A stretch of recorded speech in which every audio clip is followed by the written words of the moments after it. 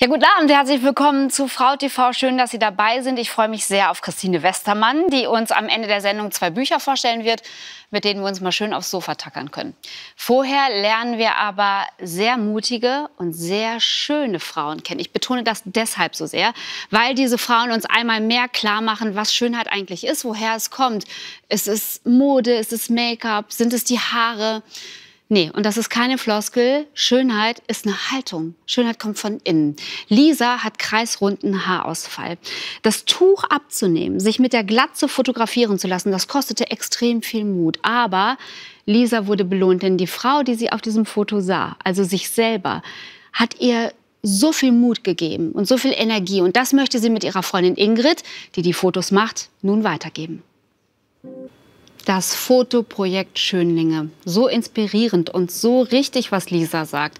Im Unperfekten, im Makel steckt die Stärke. Und ob es jetzt kreisrunder Haarausfall ist oder ob es Narben sind oder was auch immer, wir sind größer als das.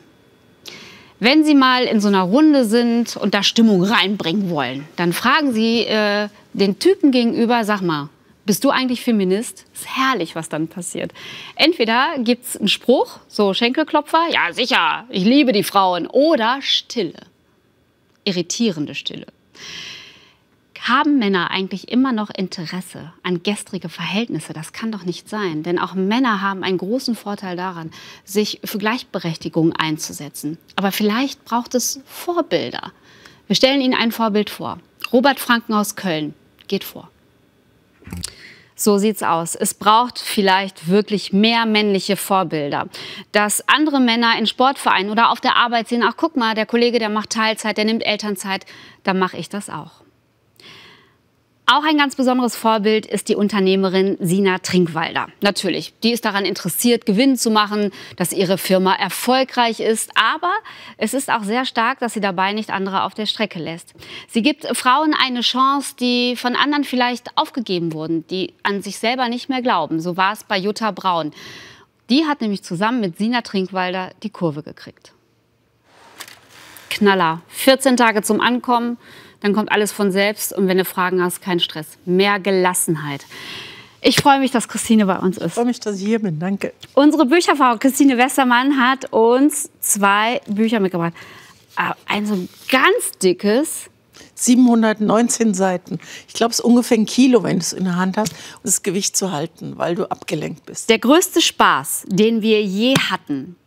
Ein Ehepaar mit einer absolut glücklichen Ehe, Seit 40 Jahren? Seit 40 Jahren. Und das ist der größte Spaß, den so werden wie ihre Eltern, wollen die perfekten Ehen, die perfekten Beziehungen haben.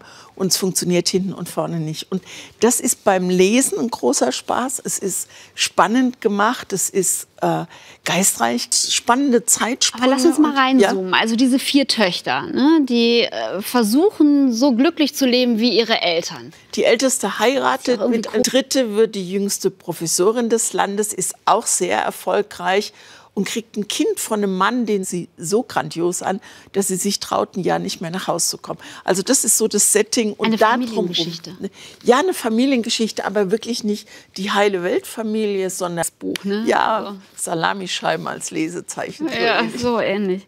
Komm, wir machen mal weiter. Also Claire Lombardo, der größte Spaß, den wir je hatten. Das ist das erste Buch. Und das zweite Buch finde ich vom Titel her schon spitze. Nicht mein Ding. Nicht mein Ding. Genau. Ich glaube, wenn du irgendwann in so eine Phase des Lebens kommst, wo du sagen kannst, nicht mein Ding. Ja.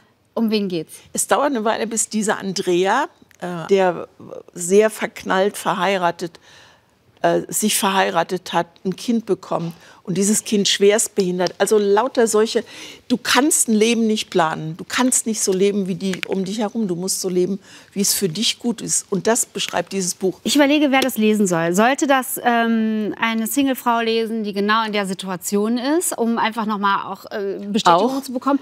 So, Sie können diese Bücher haben als Paket. Ich habe aber eine Frage für Sie. Wie viele äh, Kinder, wie viele Töchter haben denn hier diese Vorzeigeleute äh, hier, die beiden? Und die Antwort bitte an frautvbuchquiz.wdr.de. Das ist die Adresse. Und jetzt empfehle ich Ihnen Menschen hautnah. Es geht um ein Thema, über das Frauen wirklich nicht oft reden. Gewalt im Kreissaal. Nächste Woche ist Lisa wieder für Sie da. Christine, schön, dass du da warst. Danke, dass ich kommen durfte. Ach, gerne wieder. Tschüss, schönen Abend noch.